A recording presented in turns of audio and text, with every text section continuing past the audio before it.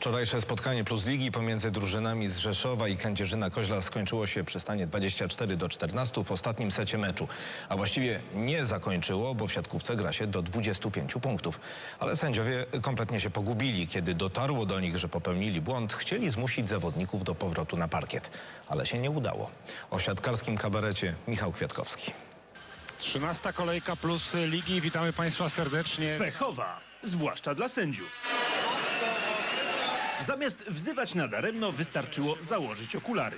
Wydaje się, że jest w ogóle błąd ustawienia w protokole. Kolosalne zamieszanie. W trzecim secie nikt już nie wiedział nie tylko jaki jest wynik, Pogubili się sędziowie przy stoliku. ale nawet jaka to dyscyplina.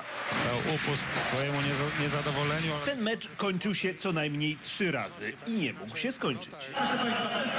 Najpierw zakończył go Marko Bojcz. Efektownym atakiem z przechodzącej piłki kończy to spotkanie. Potem komentator. Nie był to na pewno mecz stojący na wysokim poziomie. Potem zakończył sędzia, to znaczy nie zakończył. W protokole się mecz zakończył, a, a tutaj się jeszcze nie zakończył. A wy nie zakończyliście Myśmy meczu? nie zakończyli, bo my teraz powiedziałem, że macie jeszcze 5 minut. Ale to już było pół godziny temu, no to przecież pan zagwizdał koniec meczu, tak? Zagwizdał przy stanie 24 do 14.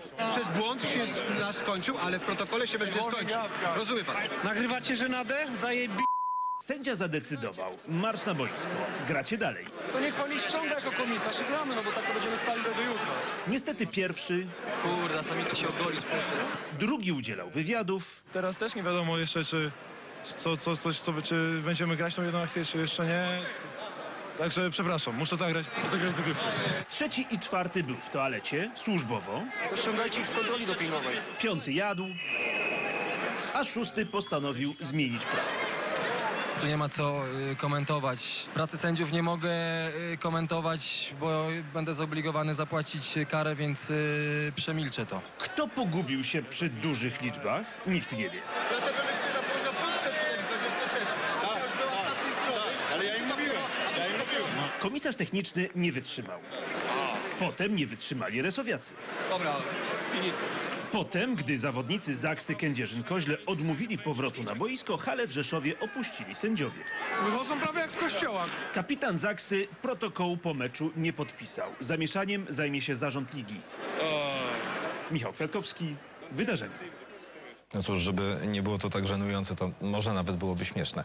Z wydarzeniami wracamy do Państwa jutro o 15.50 i 18.50. Informacje cały czas w Polsat News. W Polsacie zaraz program